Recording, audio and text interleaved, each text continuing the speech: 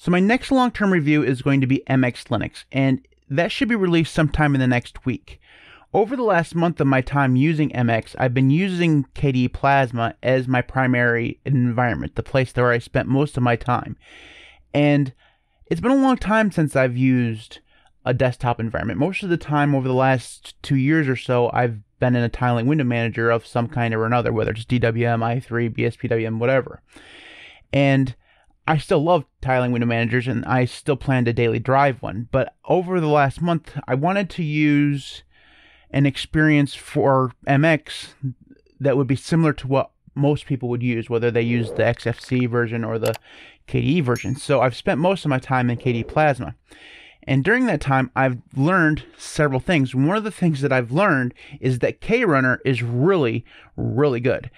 If you don't know what KRunner is, KRunner is basically the Spotlight search of KDE. Now, if you don't know what Spotlight search is, I don't know if I can really help you there. There's that's the Apple version of KRunner. it's a hard to def- define thing, but basically what it does is it allows you via keyboard shortcut or some other way of bringing up a search box either at the top or the middle of your screen that allows you to do many different things, mostly search. It's primarily used for searching the web, searching through your documents and files, searching for applications, searching through the your repositories and stuff like that. It's a search tool. But the thing that makes KRunner so good is that there's just a ton of other stuff that it can do. So what I'm going to do today is take you through a few awesome things that KRunner can do that you might not know about. So let's go ahead and jump in.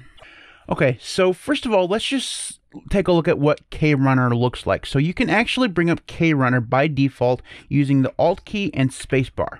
And this is what KRunner looks like. Now, like I said, it might appear at the, at the top for you. I've changed it so it appears in the middle, but it really doesn't matter where it appears. It, function, it functions the same. So the one thing you'll notice is that it's just a blank search box. So you're wondering what can you do about it?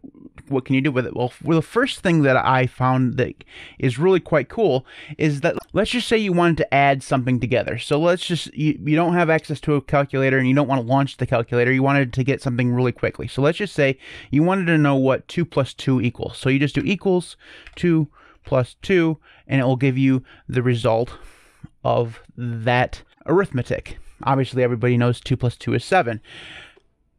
It is 7, right? No, it's 4, right? It says right there. I knew that. Anyways, that was dumb.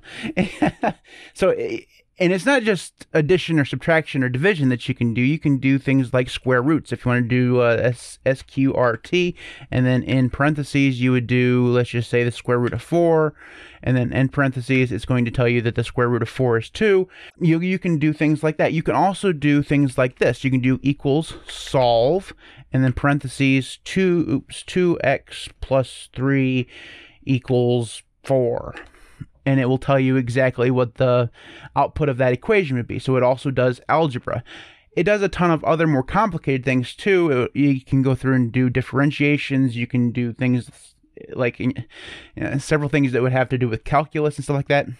A lot of those things stuff is like way beyond me. Uh, I'm getting close to being 10 years out of university. I don't remember any of that math stuff. They, they tell you you're going to use it in real life, and unless you're like a computer programmer, you're probably never going to use calculus or an engineer, I suppose. But the, the, the point is, is that KRunner will allow you to go through and do a ton of stuff like that and it will mean it means you don't actually have to open up the calculator. You can just go through an alt space, do something like that, and it will show you the outcome. So the next thing on the list is that if let's just say you don't know how to spell something. Now this is something that happens to me a lot. I don't know how to spell words sometimes because it just you, you ever have a situation where you're writing down a word and it just looks weird, like you you think it's spelled right, like that you know it's spelled right, but it just looks odd. And that happens to me a lot. Like some words are just spelled weird. Sometimes you don't know how to spell words, but with KRunner, you can actually go through and check spelling. So let's just say I wanted to, to figure out how to spell the word verbose. It doesn't, it's just a random word that popped in my head. So you do spell, and we know it starts with a V, and there's a B O S E in there, and then it just tells us how it's spelled V E R B O S E, right? And you can do that with any word you want. Just say uh, G L E. Uh, so G- Google is here if you wanted to do, you know, search for something like that. It gives you hints at what it thinks you're trying to spell by using the spell keyword. Now, you can also go through and check definitions. Let's just say we wanted to define the word verbose because it would define and verbose. We've just learned how to spell it, and then it gives us the definition of verbose. Now, one thing I have not figured out how to do is figure out how to make it so that it actually displays the entire. I actually didn't know that you could actually you can actually go through and just hover over it and it'll tell you the whole uh, definitions, things how it doesn't show it. So that's cool. I'm learning something new here too. So you can go through and define words that are in the dictionary. Now, the one thing you should know about these two features is that in order to use the spell check functionality, you have to enable it. So in order to do that, bring up KRunner, hit the settings icon here, scroll down to where you see spell checker and turn it on. By default, it's off. Uh, so it would be like this, and then you'd want to hit the the checkbox and then hit apply.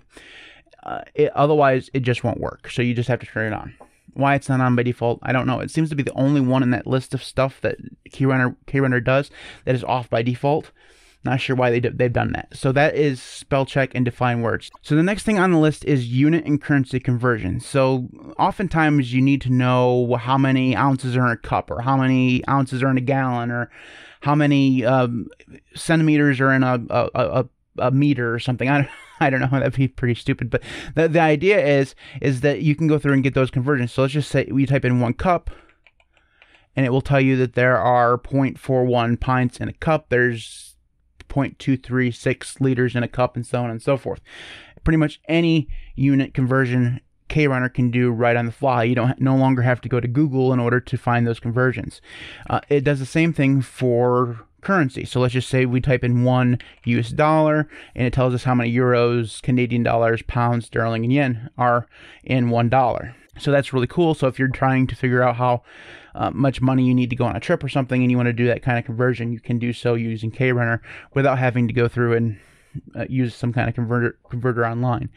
Uh, it does. It will also tell you the time. Now everybody knows that there's a time clock down in the lower right hand side. But if you want to know what say time it was in, um, let's just say I don't know Tokyo, it'll tell you what what time it is in Tokyo.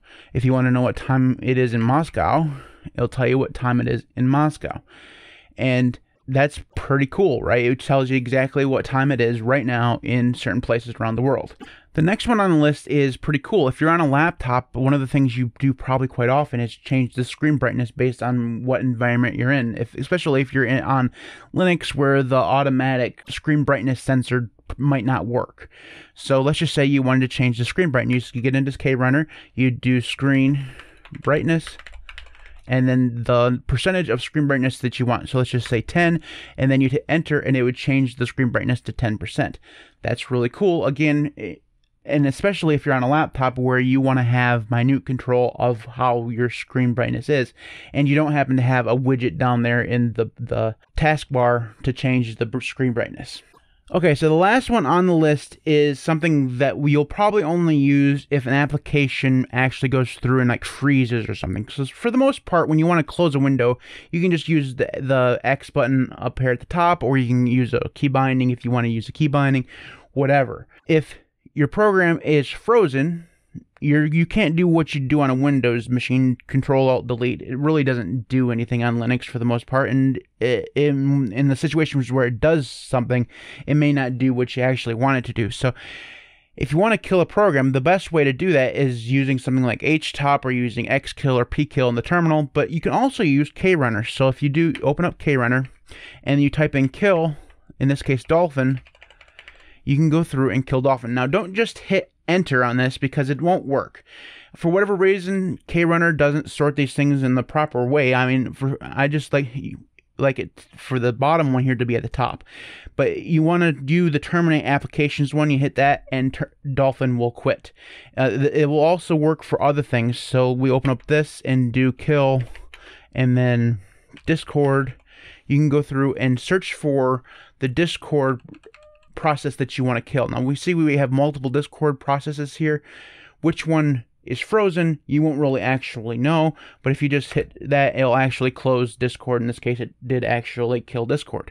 It gets a little bit fuzzy when you're dealing with something like a browser which has just a ton of processes and you don't know which one you'll kill uh, that needs to be killed in order to actually kill the whole program. So it gets a little fuzzy. You may end up having to use something like htop or something like that if you want to uh, kill something that is running multiple processes. But for ones that are only using a couple processes or just one process, killing via KRunner is actually pretty cool. So that is it for this video. Now, there's a ton of other stuff that KRunner can do. I highly recommend going into the settings for KRunner, which I showed you how to do earlier, and navigating through some of the stuff there that it shows you that you can do. The problem with doing that is that it doesn't actually tell you how to do a lot of stuff. So, for example, there is a web search functionality in KRunner that you can use. You can go through and use certain keywords in order to search different search engines. So you can do Google, DuckDuckGo, Amazon, things like that. Uh, but it doesn't tell you the syntax of how to use it, right? It's it's the documentation there is not all that great. And the same thing for several other of the other tools the the documentation there, at least inside the app, isn't that great. I'm sure that it exists online someplace. I didn't search that out, but just know that once you've found something in there that you can do, you'll probably have to discover the syntax to go along with it in some other place. So that is KRunner. I find this tool really awesome. I still kind of prefer Rofi, but I'm more used to the building my own config kind of stuff eh, and writing my own scripts and stuff like that for that. And that's not something you can really do as easily with KRunner, although maybe you can. Maybe there are plugins that allow you to run your own scripts or something like that. I'm not. I'm not, I'm not actually sure. I've never tried but I'm still used to Rofi. But KRunner is a great alternative if you're going to use Plasma and you don't want to have Rofi in running as well. So that is it for this video. If you have comments on KRunner, you can leave those in the comment section below. You, if you have other comments, you can leave those down there as well. Make sure you hit the like and subscribe button if you like this kind of content. It really does help the channel. If you want to follow me on Twitter, you can do so at the LinuxCast. You can support me on Patreon at patreon.com slash LinuxCast. Before I go, I'd like to take a moment to thank my current patrons. Syd A, Devon, East Coast Web, Patrick L, Primus, Marcus, Maeglin, Jackson Knife Tool, Steve A, Cyber Guy Linux, Garrick, Mitchel, Art Center, carbondated, Jeremy, o- Shaun, Odin, Martin, Marek, Camp, Joshua Lee, JDawg, Peter A, Crucible, Dark, and Dark Bandit. Six thanks everybody for watching. I'll see you next time.